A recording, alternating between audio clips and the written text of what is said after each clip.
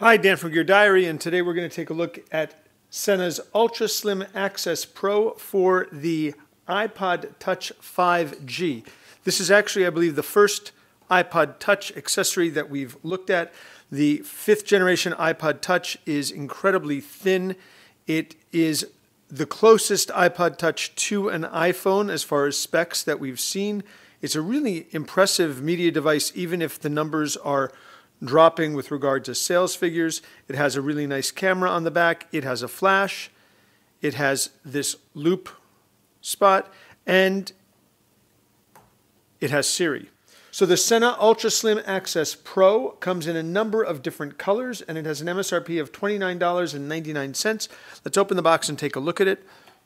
Before we do that, let me just point out, I have a BodyGuardz back on my iPod Touch which is great for keeping the back from scratching. But if you want to throw your iPod Touch into your bag, you don't want the screen getting damaged, and a protective film isn't going to do as much to keep it safe as you might want. And with the fifth generation iPod Touch starting at 299, you really want more protection. That's where this comes in. This is a pouch style case. It has the Sena name embossed at the top. The ultra thin access is open at the top and it looks like it's open at the bottom, but it's not completely open. It's got, let's see if we can get this on camera. It's got this little catch area so that the whole bottom is open, but the iPod Touch isn't going to slide out the bottom. So to use it, obviously, you just take your iPod Touch, put it inside. It's a little bit tight to begin with, and it's even tighter when you have a skin on. And once it's inside, it's fully protected. Screen's protected, back's protected, sides are protected. The bottom is fully accessible.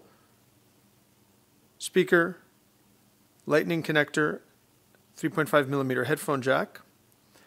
And the top is accessible, but you have complete protection.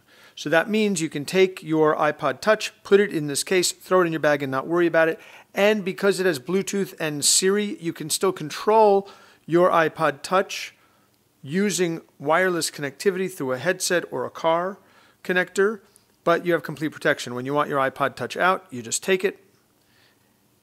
It will get looser over time as the leather wears in, but initially it is a tight, tight fit. Again, not a bad thing. You don't want it slipping out. Pull it out, and you've got your iPod Touch, and you've got the ultra thin access. Let's just show one more time. Put it in, and you're good to go. This is Sena's ultra thin access for the fifth generation iPod Touch. This is Dan for Gear Diary. Thanks for watching.